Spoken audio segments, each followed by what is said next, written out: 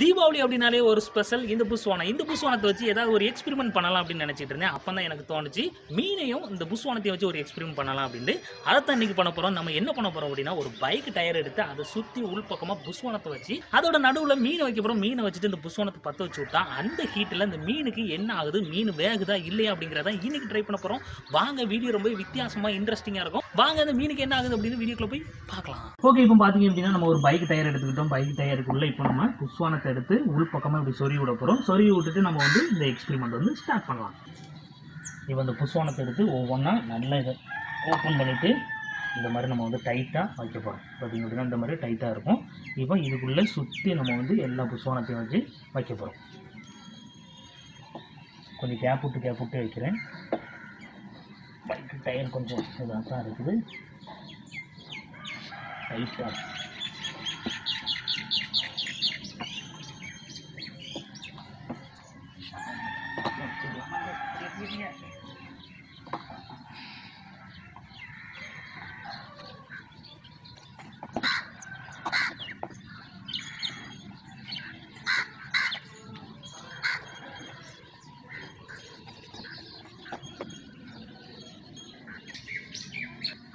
Okay இப்போ பார்த்தீங்க அப்படின்னா நம்மளோட புஸ்வானத்தை அந்த டயருக்குள்ள சூப்பராக வந்து நம்ம செட் பண்ணி விட்டுட்டோம் பாருங்க எப்படி இருக்குது அப்படின்ட்டு.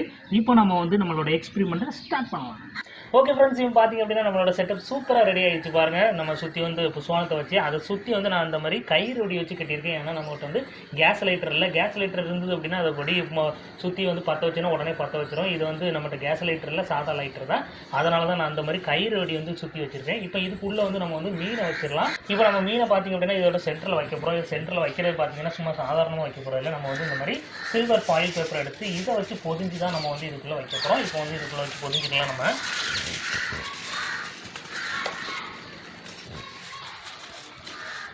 ஏன்னா நம்ம சில்வர் ஃபாயில் பேப்பரில் வச்சோம் அப்படின்னா அந்த ஹீட் வந்து அப்படியே சுற்றி எல்லா இடத்துக்கும் பரவும். இல்லை அப்படின்னா அந்த புஷ்பானம் எந்த இடத்துல படுதோ அந்த இடம் மட்டும் தான் நம்மளுக்கு வந்து இதாக இருக்கும் அதனால் ஹீட் வந்து எல்லா இடத்துக்கும் போகணும் அப்படிங்கிறதுக்காக நம்ம வந்து இந்த மாதிரி புரிஞ்சுக்கலாம்.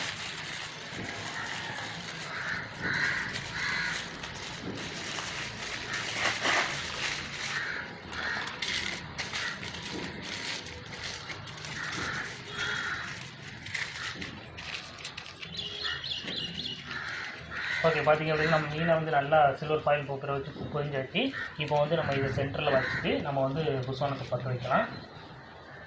ஃப்ரெண்ட்ஸ் இப்போ பார்த்தீங்க அப்படின்னா நம்ம எல்லா செட்டப்பும் சூப்பராக ரெடி பண்ணிட்டோம். இப்போ வந்து நம்ம ஃபைனல் ஸ்டேஜ் பற்ற வைக்க போகிறோம் பற்ற வச்சதுக்கப்புறம் என்ன ஆகுது அப்படின்னு இப்போ பார்க்கலாம். நான் வந்து மெதுவாக பற்ற வைக்கேன்.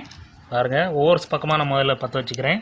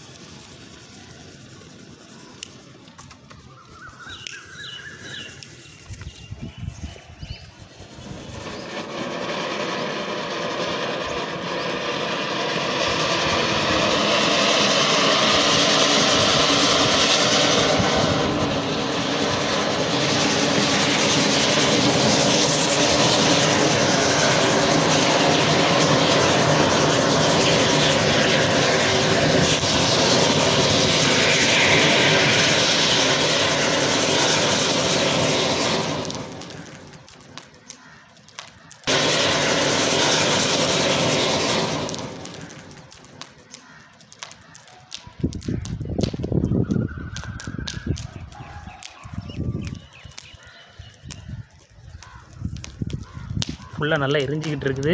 இப்போ வந்து நல்லா அணைஞ்சதுக்கப்புறம் நான் வந்து இதை பார்க்கலாம் எப்படி இருக்குதுன்னு பாருங்கள் ஃபாயில் பேப்பர்லாம் பார்த்தீங்க அப்படின்னா அப்படியே எரிஞ்சு தூர போயிடுச்சு. மீன் மட்டும் இருக்குது.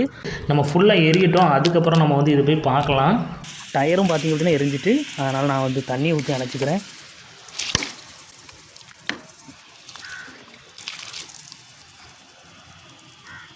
இப்போ பார்த்தீங்கன்னா நான் தண்ணி ஊற்றி அணைச்சிட்டேன். ஏன்னா டயருமே தீப்பிடிச்சி எரிய ஆரம்பிச்சிட்டு அதனால் வந்து நான் தண்ணி ஊற்றி அணைச்சிட்டேன். இப்போ நம்ம மீனை பார்க்கலாம் தொட்டு பார்க்குறேன். இப்போ மீனை பிடிச்சி தூக்கலாம். பார்த்தீங்க அப்படின்னா ஐயோ பாருங்கள் இந்த பின்னாடி அப்படி பிஞ்சு வருது. ஒரு வித்தியாசமாக ஆயிடுச்சு. நம்ம வந்து கரண்டி வச்சு இதை எடுத்து பார்க்கலாம். பாருங்கள் மீன் வந்து எப்படி இருக்குது அப்படின்னு ஒரு மாதிரி செதஞ்சு போன மாதிரி ஆயிடுச்சு. ஆனால் மீன் வந்து வேகலை. ஆனால் அந்த வெளியில் உள்ள தோல் மட்டும் ஒரு வித்தியாசமான செதஞ்சு அப்படி கருகி போயிடுச்சு. பாருங்கள் எப்படி இருக்குது அப்படின்ட்டு. இந்த மண்டை பக்கம்லாம் ஒரு மாதிரி அப்படி காஞ்சி போனால் எப்படி இருக்கும் அந்த மாதிரி ஆயிடுச்சு. அந்த பக்கம் திருப்பி பார்க்கலாம். ஐயோ இங்கே பாருங்கள் பிடிச்சாலே அப்படியே பிஞ்சு வருது. அந்த அளவுக்கு ஒரு மாதிரி வித்தியாசமாக வேகலை. ஆனால் பார்த்தீங்க அப்படின்னா ஒரு மாதிரி செதஞ்சிடுச்சு. இந்த பக்கம் பார்ப்போம். இப்படி இருக்குது அப்படின்ட்டு. பாருங்கள் எப்படி இருக்குதுன்னு. ஒரு வித்தியாசமாக ஆயிடுச்சு. அந்த ஃபாயில் பேப்பரே காணலாம் அந்த அளவுக்கு அது வந்து கருகி போயிடுச்சு. மீனை பாருங்கள் இப்படி இருக்குன்ட்டு. லேசாக பிச்சு உடனே அப்படியே பிஞ்சு உள்ள குடல் ஃபுல்லாக அப்படியே தெரியுற மாதிரி ஒரு வித்தியாசமாக இருக்குது. பாருங்கள் எப்படி இருக்குது அப்படின்னு. அந்த வெளியில் உள்ள தோல் தான் ஒரு மாதிரி ஆயிட்டு.